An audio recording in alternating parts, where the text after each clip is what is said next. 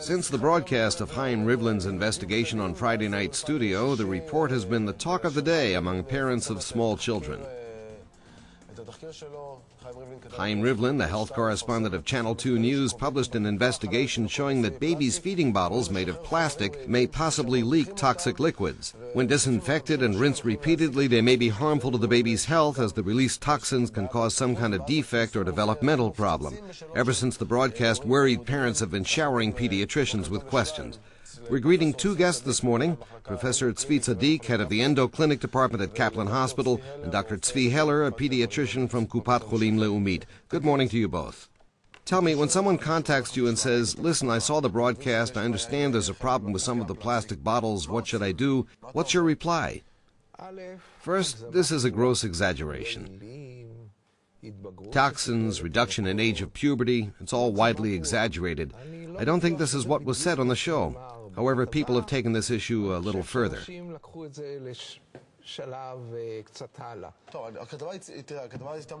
The report was evenly balanced, and Chaim told the full story. The question is, what impression is left on the viewer? Parents wonder how they should react. Do they contact you and ask what to do, if they should throw all the bottles away or change to glass bottles? I tell people that bisphenol A has the traits of a small amount of female hormone. It shouldn't be present in people, but it is. I don't have any proof that it's harmful.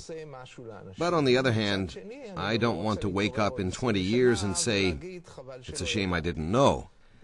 That's why I'm bringing this to the public's attention and stating that if a person doesn't want this chemical in his child, he should use another product.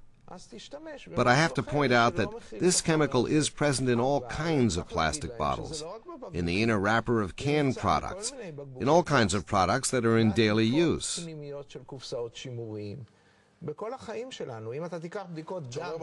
When you say plastic bottles, does that include mineral water bottles? In many products. I don't know the exact composition. At least these bottles aren't scrubbed. They're used once and disposed of. But this is amazing. Actually, what happens, wherever you look, you find substances permitted for use, and they contain. The consequences of using them have not been thoroughly checked. They can be used today, but research will only be available in 20 years. Meanwhile, we consume these products. We don't have to elaborate on what parents are doing to protect their children. The end result parents are left feeling they may be harming their child. Correct. This is important. Use of all these products began before anyone thought of their possible harmful effects. All these industries came into being before standards were applied. That is what is so troublesome. Correct. That's why I say that all new preparations being used should be thoroughly checked. Dr. Heller, at the end of the day, you're the one who has to deal with people. I mean, some people handle the substances, do the research, but you have to deal with a parent who wants to know what he should do. It happens. There's no real panic, but there is an inherent anxiety. On the one hand, they must understand that this substance is not really toxic and there's no need to panic. But on the other hand, better safe than sorry. Right now, I'm suggesting that people should not use bottles containing the substance if they're old if they've been passed down from older children, used for many years, or undergone many sterilization cycles. Define many. There are parents like Donna that sterilize a bottle five or six times for every use just to be sure it's safe. Donna and my wife, too. That's how it is. I don't have any specific definition. Perhaps Professor Tzadik has, I don't know, but definitely if a bottle is defective, scratched, or murky, it's likely that it will release bisphenol A 10 or 20 times more. Does a new bottle also release the substance? The substance is used as a stabilizing agent in plastic, causing the plastic to remain resilient. From here, it's simply a question of physical and chemical reactions. Any physical or chemical stimulus to the bottle will cause the release of a certain amount of the substance. That means if you sterilize a new bottle, you're already causing the of release course, of.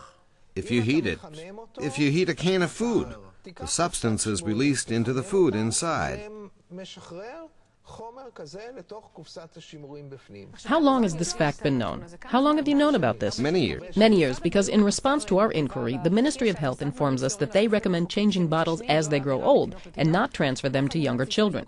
They also recommend not to use scratched or torn bottles. The Ministry will examine all international recommendations and make additional recommendations as necessary. In Chaim's report, we saw. Yes, let's see a portion of Chaim's report and continue from there.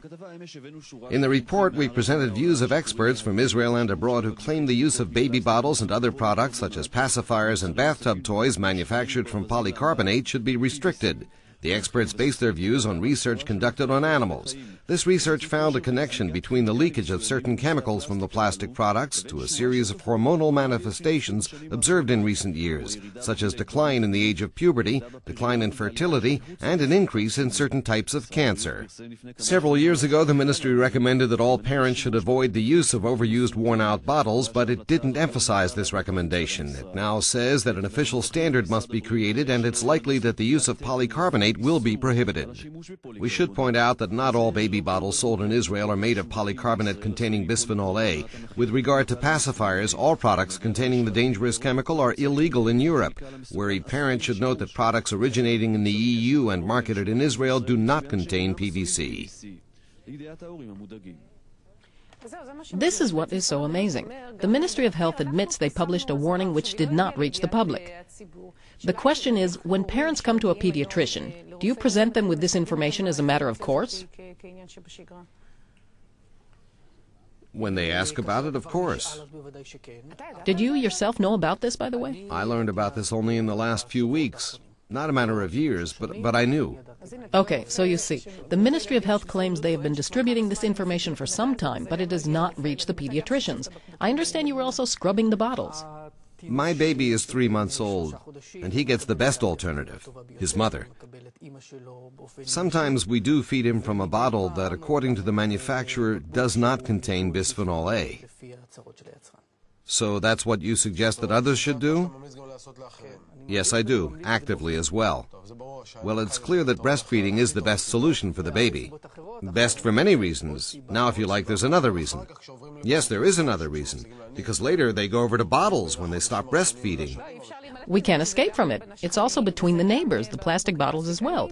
I really think a reverse procedure is taking place, which I can understand is frustrating from a research point of view, when you realize that there are dangerous substances that are in use, but you are not dealing with the real danger. You have to deal with the economic lobby, the giant corporations that manufacture the substances. They tell you that if you cause the corporations to collapse, then people will lose their jobs. Somehow things have turned upside down in the modern world.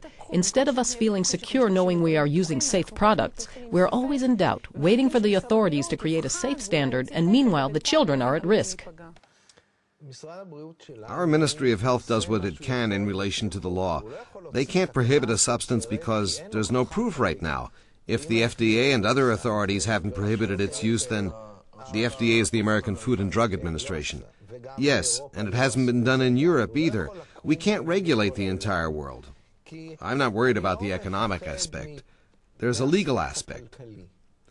I can't directly tell a company that they're doing something wrong if I have no direct proof. Another thing that disturbs me is about the connection between infertility and early puberty. This is completely untrue. No connection has been proved. We see all these occurrences worldwide, but we do not know their origin. But there is no argument regarding early puberty of the young generation. Of course there is. You can't prove, though, that these two are related. Just one last question. We saw in Chaim Rivlin's report that if you purchase a product that does not contain PVC, then you ensure that the product does not contain these substances, say not in bottles, but in pacifiers? Either you write or you purchase products that don't contain bisphenol. But surely it's the same thing. It's not exactly the same. It's a different substance but with similar qualities. Both should be examined. So we have to be careful. Thank you to you both. It's difficult to be a parent these days. You have to read this and that and check that this doesn't contain this substance or that substance. Mainly you have to be aware. I have a gut feeling that I think it's very important. In the end, everything is unhealthy. Living is not a healthy occupation. Being outdoors, breathing polluted air. True, but that's a fatalistic attitude. A person should take responsibility over things he is able to.